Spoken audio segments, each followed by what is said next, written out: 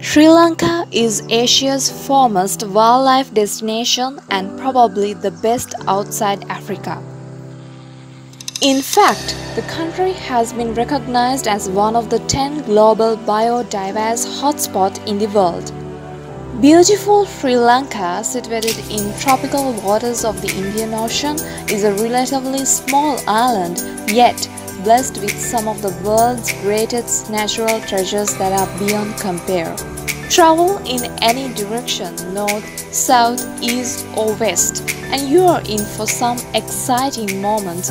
Take my word, every corner of Sri Lanka reverberates with the sounds of the natural world. The biological diversity in this little island has an unbelievable proportion of endemism for both flora and fauna.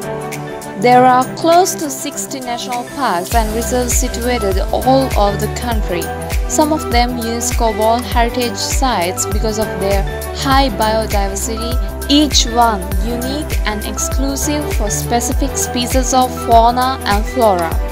Adding value to this incredible wildlife destination are the big the Sri Lankan elephant, listed by IUCN as endangered, can be seen in large herds, sometimes as large as 400, at the animal spectacle called the Gathering. This small island holds the world record for highest leopard density in the world. Here leopards are super large since they are the highest ranking formidable predators in the island.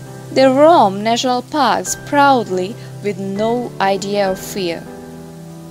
And the incredible sloth bear listed as highly endangered by IUCN. This little island is a bird's paradise too. It is home to 439 species of birds, of which 33 are endemic with 68 endemic subspecies. 236 are breeding residents, 203 are migrants and the rest vagrants along with hundreds of birding sites. That makes it easy to observe these feathered beauties in their natural habitats, no matter in which part of the country you